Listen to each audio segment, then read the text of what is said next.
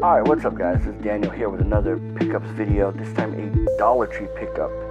And it is not that many films. I did do there after, you know, I went after Black Friday and my Dollar Tree had just put out their movie. So I was able to get a few.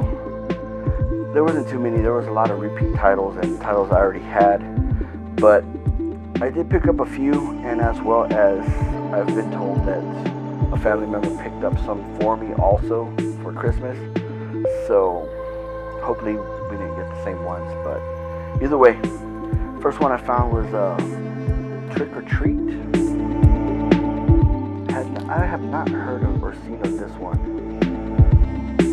So this was new there, so I said, you know what, pick this one up. And a replacement copy for Buck. I mean, come on. This next one, I already popped in to watch and was a complete shit show. Doll faces.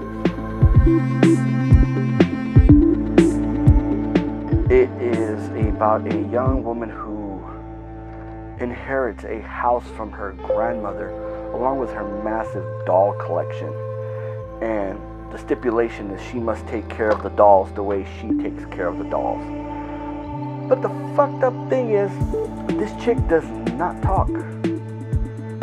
There's there's there's audio coming out of her speaking, but she does not move her mouth.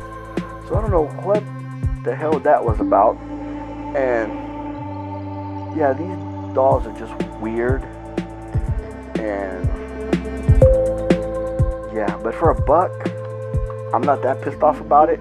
But if I had paid more than a buck, I would have been really pissed off. So just warning, if you see this one and you're thinking a uh, uh, Puppet Master, no, that's what I was thinking. That was my my dumbass fault for thinking that. But yeah, I mean, watch it. Let me know what you think if you haven't or you've seen it. Yeah, it was to me it was a complete shit show. And then I picked up the house at the end of the street.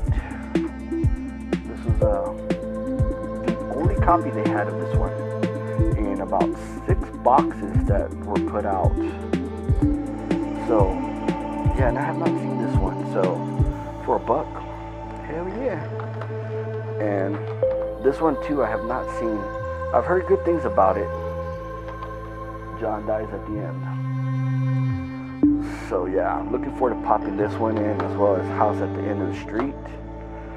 But as far as that doll face, that was some, that was some, I would say, some BS and a half. But yeah, um, you know, I just I was hap- I happened to walk into Dollar Tree to pick up some stuff, and you know the the boxes were out on the shelves pristine, no copies missing out of out of any of the boxes. So I was able to uh, go through them, and yeah, there was a lot of MGM classic, the the reprints of them, but nothing that I needed, nothing that drew my attention. So yeah, you know, I'm gonna go back and check out, see if they put out anything, because uh, as far as I know, my Dollar Tree that's literally down the street from me they've been having a, a, rough time with freight coming in. So I think that's why, because the, the store was tore up with boxes everywhere and, and you know, the, they were restocking and all that good stuff. So I think that's why I was able to catch these uh, when I did. Fortunately, I wish there was more titles that I could have gotten because I've seen uh, seen some people say they've picked up WolfCop 1 and 2 as well as uh, the new Puppet Master, uh, that the latest one. So yeah, I was kind of hoping I could score some of those, but no dice. But let me know if you picked up any cool things at the Dollar Tree, and you know, be sure to like the video and follow me on social media as well as the channel.